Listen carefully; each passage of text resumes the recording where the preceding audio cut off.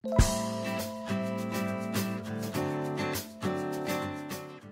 ย็บผ้าส่งลูกสาวจนได้แต่งเศรษฐีหนุ่ม บ้านสวนยายหนิง บอกลาอเมริกา หอบลูกกลับบ้านเกิด ทนมาสามปีชีวิตไม่ได้สบาย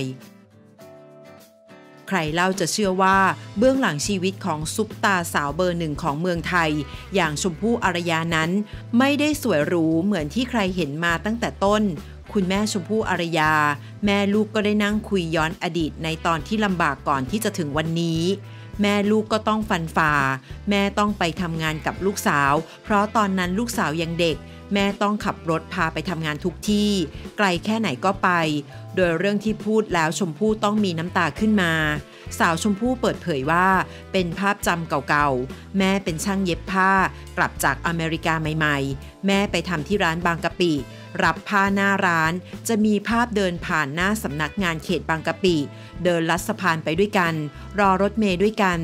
ตอนอยู่บ้านรับเย็บผ้า เราก็ช่วยเขียนป้ายฝาลังกระดาษสีน้ำตาล ว่ารับตัดเสื้อสตรี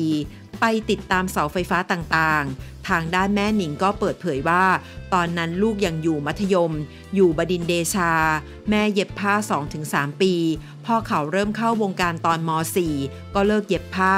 มาขับรถให้ลูก เพราะเราห่วงเขา เขายังเด็ก ในช่วงเวลาฝนตก เราก็มองแท็กซี่วิ่งผ่าน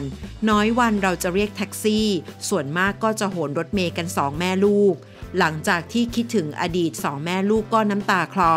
แม้ตอนนี้ชีวิตจะดีขึ้นอย่างมาก ชนิดที่ว่าพลิกจากหลังมือเป็นหน้ามือเลยก็ว่าได้ แต่คุณยายหนิงก็ยังคงใช้ชีวิตบ้านๆเรียบง่าย ตามสไตล์ ก่อนที่จะได้ชื่อว่าเป็นแม่ของมหาเศรษฐีซุปตาเมืองไทย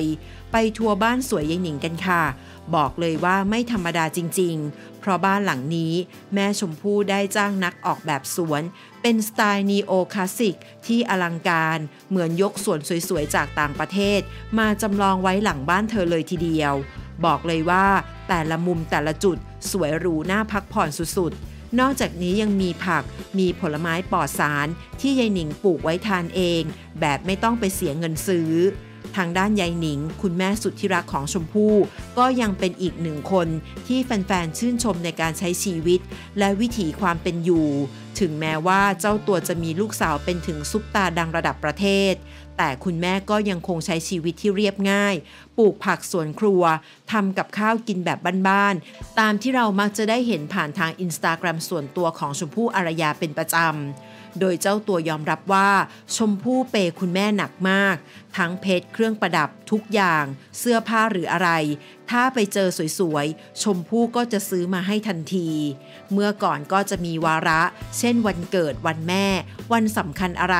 เขาก็จะซื้อเพชรให้ บางปีก็จะให้เงิน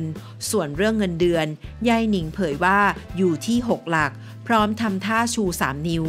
ไม่แปลกใจเลยว่าทำไมยิ่งนานสาวชมพู่ยิ่งปังเรื่อยๆ เพราะการตอบแทนคุณมารดาที่ได้พยายามส่งเสียเลี้ยงดูเธอมาเป็นอย่างดี แม้จะลำบาก วันนี้นั้นได้ส่งผลให้ชีวิตของเธอดีแบบคูณ100 ไปเลย